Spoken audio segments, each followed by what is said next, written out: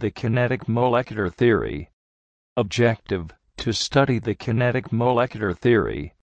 Before starting the topic, let us know what is matter. Matter is everything we see around us, and that has mass, and occupies space. For example, if we look at a book, pen, and a pencil, each of them are having mass, and occupy space, so they are called as matter. We have three states of matter. They are solid, liquid, and gas. The difference in these properties are explained by the kinetic molecular theory of matter.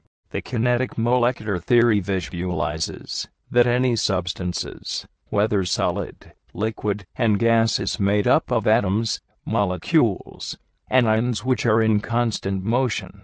Postulates of kinetic molecular theory are the first one is composition of matter. This theory explains that matter consists of small particles which may be atoms, molecules, or ions. The second one is arrangement of particles.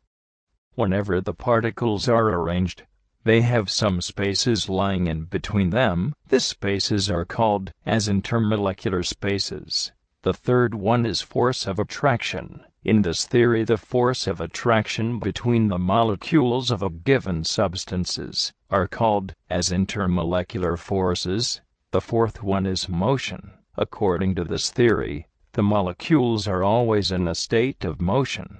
The fifth one is temperature. On heating the molecules, the kinetic energy increases, and they move faster.